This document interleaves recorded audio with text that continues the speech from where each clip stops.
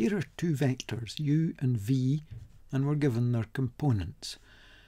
In part A, we're asked to evaluate u dot v, the dot product, scalar product.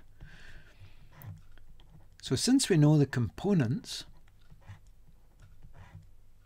we can perform the calculation to find dot product by multiplying corresponding components and then adding the results.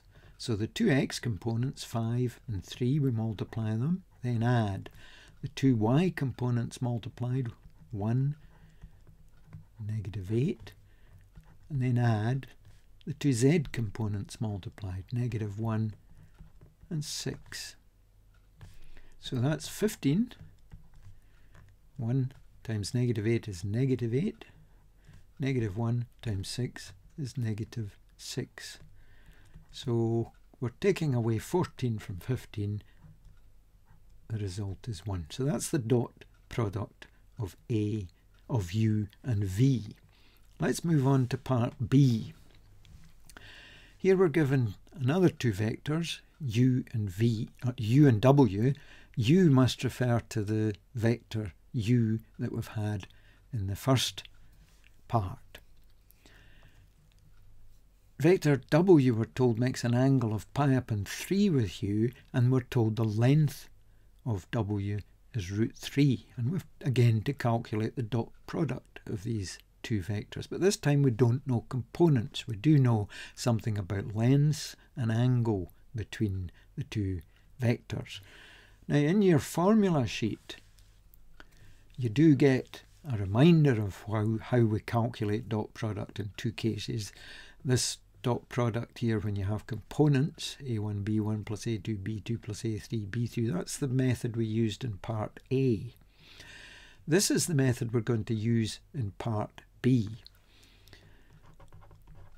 where to find the dot product of the two vectors u and w we find the length of u multiply it by the length of w and multiply the result by the cosine of the angle between them, which is pi upon 3.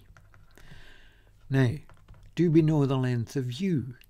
Well, no, we don't. We're not told it immediately in this question, but we do know the components. So let's have a look at how we would find the magnitude of vector u that has components 5, 1, negative 1. Well, the method for doing that, these two straight lines, vertical lines, mean find the magnitude of. The formula is find the square root of, and we take each component, square it, and add the results. There's your 5 squared, your x component squared, y component squared, z component squared, and we add the results together. So it's the square root of 25 plus 1 plus another one. Remember, negative 1 times negative 1 is positive 1. So that's the square root of 27. So we know now, when we're working out this dot product, we can put in root 27 for the magnitude of u. Let's look at the magnitude of w. Well, we're told that's root 3. And the cosine of pi upon 3. Well, that's radians. Remember, pi radians is 180 degrees. A third of 180 is 60 degrees. And we'll get a 60 degree angle in an equilateral triangle. If we chop an equilateral triangle in half, and let's suppose all the sides were side 2, then chopping this side in half, that's length 1. And Pythagoras would tell you that this third side, this dotted line here, is the square root of 2 squared minus 1 squared. That's square root of 3.